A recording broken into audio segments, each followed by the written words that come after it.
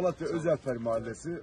Burada sağ olsunlar Akfen Holding 100 çadırdan oluşan bir çadır kent kurdular.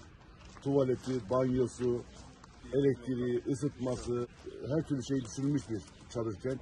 Her türlü tedbir alınmış. Yangın söndürme cihazlarına kadar.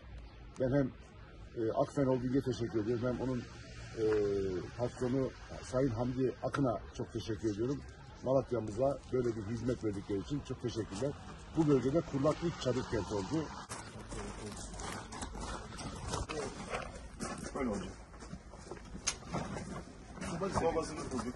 Elimizde Antakya'dan getirdiğimiz Ramazan kumanyamız var. Onları verdik. Ankara, Ağaç tane daha getirdim. Sabunu, şampuanı, duşu her şeyini koyduk abi. Yataklar, battaniyeler burası artık yaşama hazır hale gelir. Lambamız da bu şekilde taktık. LED lamba takıyoruz. Hepsine bir tane buradan anahtar ver. Şimdi ben size lamba yakarım onu. Anahtar verdik. Arkadaşlar kolay gelsin. Malatya mı?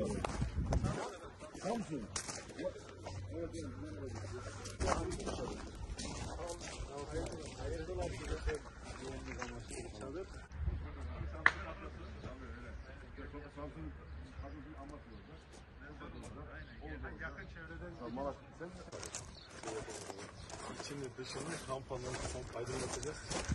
Tuvaletleri bağlarız, duşları bağlarız. Ondan sonra anahtarı teslim inşallah. Yarın yetişiyor mu?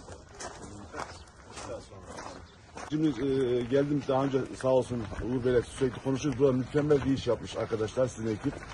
E, her şey her şeyi düşünmüşler. Elektriğinden ısıtmasına, hijyen, her şeyi düşünmüşler. Çok teşekkür ederim Malatya adına. Allah hayırlarınızı kabul etsin. Çok memnun oldum sizinle görüştüğüme.